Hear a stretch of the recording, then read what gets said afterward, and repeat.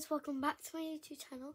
So today I've got some really, really scary news actually, because like the FBI showed up to, to my house today, and I was just like, what the hell is going on? And like, so basically I didn't know what was going on or anything, so like it was just really weird, and um, yeah, so it was just really weird. I was just randomly just, and then I looked, and then she just showed me, she was just standing like this, and then she just showed me but I said FBI on it, yeah.